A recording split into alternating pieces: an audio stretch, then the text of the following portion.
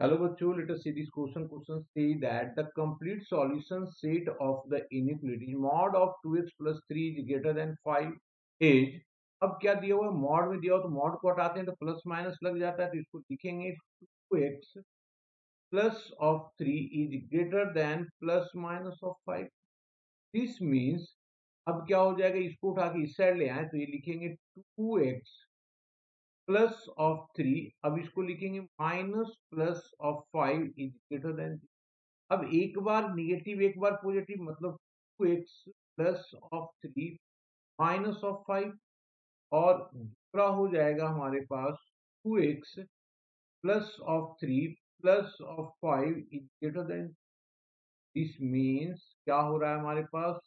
Two x minus of two two x minus of two और ये two x plus of a is greater than zero. दोनों से दो दो common ले लिया तो ये हो जाएगा हमारे पास फोर, और ये x minus of one and x plus of four.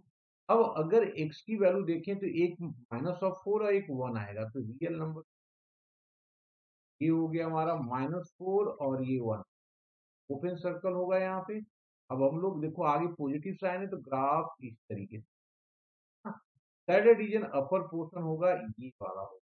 हमारा आंसर क्या होता है? सैडेड वाले पार्ट होते हैं एंड जो होता है माइनस एंड इधर एंड होता है तो ये x belongs to minus infinity to minus of four union of one to तो minus infinity to minus four one to infinity that means the correct answer